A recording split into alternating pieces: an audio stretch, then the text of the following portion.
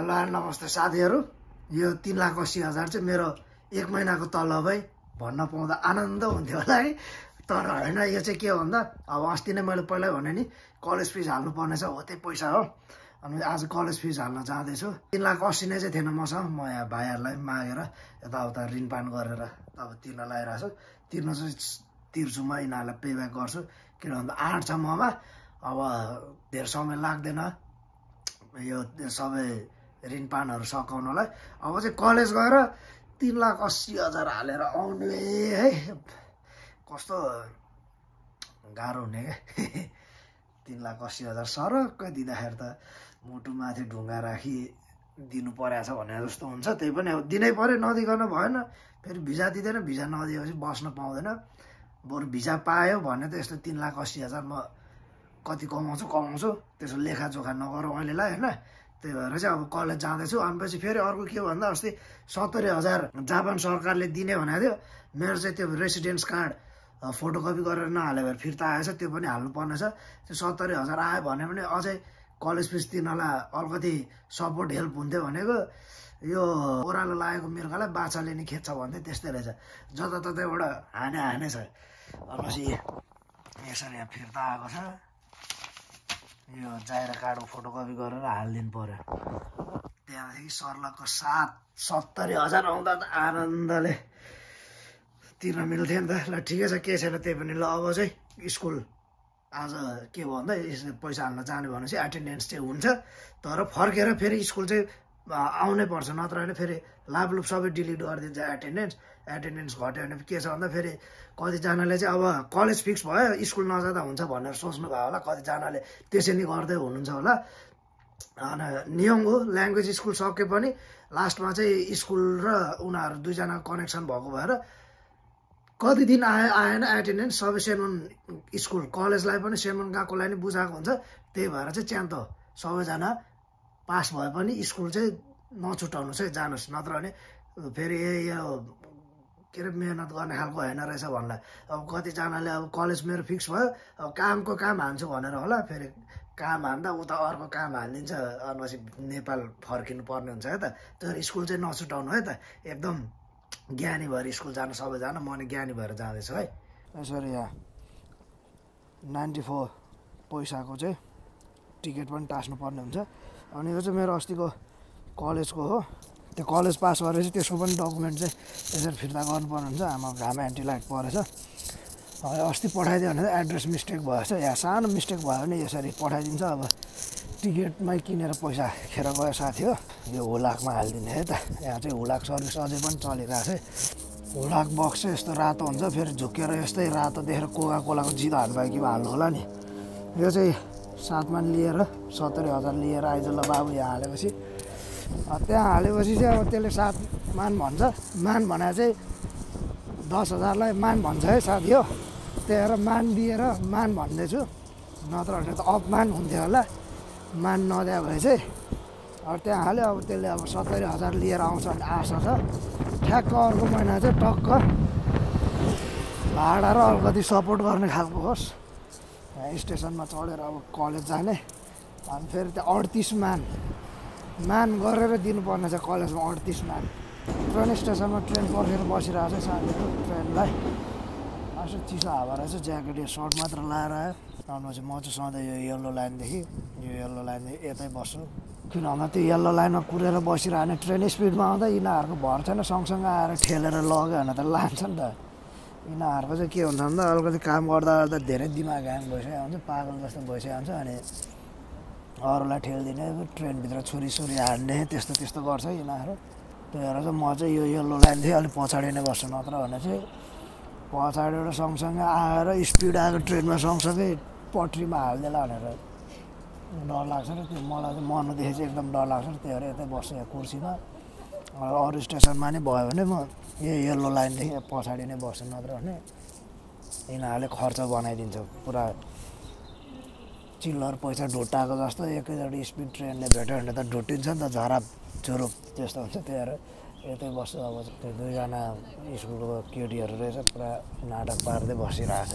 तिनीहरूकै नाटक हेर्दैछ। देखाउनु मिल्दैन नत्र भने देखाउँथेँ। तपाईँहरूलाई फेरि ए, किन खिचिस भनेर फेरि मलाई कलेज फिस हाल्नतिर होइन अन्त्यतिर चाहिँ लान्छ त्यही भएर है त साथी हो। आइपुग्यो साथी हो झरेँ ट्रेनबाट। अब दुई वर्ष जति यही बाटो ओहोरदोहोर ओहोरदोहोर ओहोरदोहोर गर्नुपर्ने हुन्छ। योपालि चाहिँ साइकलमा हुँदैन। योपालि चाहिँ ट्रेन टु ट्रेन मात्र हो। किन भन्दा साइकलले यत्रो पेल्न थाल्यो भने त फेरि म त ओलम्पिकमा जानुपर्ने हुन्छ साइकलको।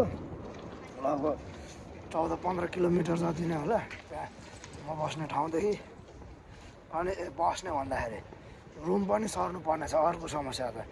किन हाम्रो त्यहाँको चाहिँ दुई वर्षसम्म मात्र कन्ट्र्याक्ट थियो आएदेखिको त्यो रुम पनि सर्नु पर्ने छ अनि अस्ति हाम्रो यहाँ इताची भाइलाई रुम खोजिदेऊ भाइ भनेर भनेको थियो खोजिदिनु त खोज्दै केटाले दस तल माथि रहेछ त्यो पनि साठी सत्तरी वर्ष पुरानो बिल्डिङ रहेछ। अनि माथि हेर्न त गयो जाँदा जाँदै। रुमहरू चाहिँ फेरि एकदम दामी ठुल्ठुलो थियो है। सस्तो कति? बत्तिस चौतिस हजार कति थियो? सस्तो थियो त्यो केही पनि नलाग्ने भन्ने त्यो खोज्दा थियो त्यो हाम्रो इतासी भाइ चाहिँ यहाँको रियल इस्टेट कम्पनीमा काम गर्छ। अरू दायाहरू पनि थुप्रै छ यहाँ रियल इस्टेटमा गर्ने। अनि खोज्दा चाहिँ माथि दस तल माथि त नि गएर हेर्ने अलिकति घर पनि हेर्दा कम्फु हसलको घर जस्तो थियो क्या लामो ठुलो बिल्डिङ। भनेपछि त नि माथि गएपछि रुम हेरेँ ठिकै लाग्यो तर दस तल माथि थियो होइन? म फेरि एकदम यो भूकम्प फोबिया भएको मान्छे हो जस्तो लाग्यो। चेक गरेँ भने फोबिया भूकम्प पनि हुन्छ भने त्यो चाहिँ ममा छ जस्तो लाग्यो। अस्ति नै त्यो भुइँचालो आउँदा भुइँतलामा आउँदा त फुत्त निस्केर टाप दिएको म झन् दस तल माथि भन्नु त। म त तल आउँदा आउँदा आउँदा आउँदै आधी मासु त त्यही मरिसकेको हुन्छ कि। त्यही भएर चाहिँ म विचार गर्छु भने भनेपछि बेलुका धेरै सोचेँ। भुइँचालोदेखि औधी डर लाग्छ मलाई त्यही भएर म बस्दिनँ दस तलामा भनेर त्यो क्यान्सल गरेँ। अनि फेरि यता अर्को भुइँतलामा खोजेँ त्यो पनि ठिकै थियो राम्रै थियो। भुइँतलामा खोजिसकेर चाहिँ फेरि अनि तोकीसँग भेट भयो हाम्रो तोकीले फेरि के भन्यो भन्दा यहाँ घटनै घटना के तोकीले के भन्यो भन्दा यो यस्तै भुइँचालो यस्तै कुरामा विषयमा कुरा निस्केको थियो घर दुईजनाको अनि भुइँचालो आयो ल ठिकै छ दस तलामा बसिनँ भुइँतलामै बसेँ होइन भुइँचालो आयो त्यसपछि त सुनामी आउँछ यहाँ त अनि ओसाकाको सी लेभल चाहिँ बराबरी छ अरे समुद्रले यसो आफूले पनि बिचराले हो जस्तो लाग्यो अनि फेरि सुनामी आयो फेरि एक तलामा फेरि सोरेर लान्छ बरु अनि यसो सोचेँ दस तल माथिबाट हात हालेर मर्नुभन्दा त बरु पौडी खेल्न त आउँछ नि मलाई एटलिस्ट भन्ने चाहिँ मेरो सोच हो त्यो एउटा ऊ मात्र हो इमेजिनेसन सुनामीमा कोही पनि पौडी खेल्न चाहिँ सक्दैन त्यो सब गफ हो होइन त्यही भएर सायद बरु त्यो दिनदिनै अलिकति आधी मासु भएर मर्नुभन्दा त बरु सुनामीमा मरेर बाँचिसक्ने चान्स धेरै देखेँ त्यो भएर चाहिँ मैले चाहिँ भुइँतलावाला रुम नै बुक गरेँ त। अनि सस्तो त सस्तो। ठिकै लाग्यो। अब यो यहाँ चाहिँ कि मनी सिमनी के के दुनियाँ थरी भन्छ कि? रुम लिँदाखेरि नि कति पैसाहरू चाहिँ डिपोजिट गर्नुपर्ने हुन्छ। अनि मेरो चाहिँ पिताजी भाइहरू रियल इस्टेटमा काम गर्ने भएको भएर र त्यहाँको बस हाकिम छ नि। अस्तिको बुढो पहिला भिडियोमा देखाएको हो त्यो बुढोसँग नि अलिकति राम्रो रिलेसन भएको भएर चाहिँ बुढाले त्यस्तो पैसा नलिनेमा गयो डिसिजन त्यही अलिक फाइदा भयो नत्र भने यहाँ कतिजना अब नियमको गएको सकिएपछि कलेज जाँदाखेरि सर्नुपर्ने हुन्छ नि त। अनि तिनीहरू एक लाख डेढ लाख मिनिमम कि मनी भन्छ खोइ यो के हो कि मनी भने त्यो चाहिँ मलाई पनि थाहा छैन है। एक लाख मिनिमम डेढ लाख मिनिमम त्यस्तो तिर्ने दुई लाख तिन लाख ठाउँ हेरी हेरी कि मनी तिर्दै रुम लिँदै बसिरहेछ। मेरो चाहिँ त्यस्तो परेन। ढुक्कै भयो अब हेरौँ। एप्लाई चाहिँ गराएर चाहिँ फेरि रुम पनि साला भिजा पाएको जस्तो रहेछ सिओई पाएर। एप्लाई गरिसकेर फोनसँग नहुने दुनियाँथरी हुने त्यसपछि अनि मात्र पाउने रहेछ रुम पनि। एप्लाई गर्नु बित्तिकै फुत्त नपाउने रहेछ क्या। अब कलेज आइपुग्नुलाई अब सधैँ यही बाटो आफ्नै जस्तरी हिँड्नुपर्ने हुन्छ। हुनु त जुनै बाटो नि आफ्नै हो होइन? यहाँ त्यस्तो मार्ग सार्ग लेखा हुँदैन नि त नत्र त नेपालमा सैनिक मार्ग जयन्ती मार्ग शान्ति मार्ग बुद्ध मार्ग ल्याएको हुन्छ। यहाँ मार्ग सार्ग ल्याएको हुन्छ होला आफूलाई पढ्न आउँदैन। पढ्न नआएर सब बाटो आउने जसरी नै हिँड्ने हो होइन? अनि कलेज आइपुग्न लाग्यो एउटा कुरा त्यहाँ मलाई रियल इस्टेटको दाइहरूले नि भन्दै थियो यो कुरा चाहिँ सायद म कलेजबाट निस्केपछि भन्छु होला। रियल इस्टेटको दाइहरूले भने एउटा इस्यु उठिरहेछ आजकल जापानमा। त्यो इस्युको विषयमा तिमीलाई कति के थाहा छ भनेर सोध्दै थियो म त्यस्तो थाहा हुने भएको चाहिँ म यसरी कलेज खोज्दै हिँड्न थियो होला भनेर भनेको थिएँ। अहिले एकछिनमा भन्छु त्यो चाहिँ कलेज आइपुग्यो है त साथी हो। एकछिनमा भन्छु म त्यो विषयमा। बिर्सिन छु भने। बिर्सिने बानी धेरै लागेको छ मलाई। है त पहिला पैसा तिरौँ। अनि यो अलिकति गोजी हल्का हुन्छ अनि कुरा गर्छ त हिँड्नै गाह्रो भयो यार। यहाँ अडतिस तिन लाख असी हजार यहाँ पुगेको भएर होला कस्तो? हिँड्नै गाह्रो भयो। पाइलै झन् कलेज नजिक। आयो पाइलै सर्दैन त्यहाँ के भएको यो? खैट ल त्यसो खपर त हाम्रो स्कुलमा फिस बुझा जस्तो क्यास लिएर आएको क्यासले हुँदैन रे यहाँ पेपरमा फेरि दिएर भरेर ब्याङ्कमा बोलाएर डिपोजिट गर्नु रे हो फेरि अब ब्याङ्क जानु पऱ्यो मासुको गएर सियोतेन गाईबाट हि मिगी मागा थिएँ त्यहाँ भेट्छ सक्थेँ अब मासुको भने चाहिँ एकदम स्ट्रेट है मिगी भने चाहिँ राइट मागहरू भने चाहिँ टर्न गर्नु म सबलाई जापानिज भाषा सिकाउँछु फ्रीमै हट अब काम सकाएर स्कुल जाने भनेको अब जाला जस्तो छ स्कुल।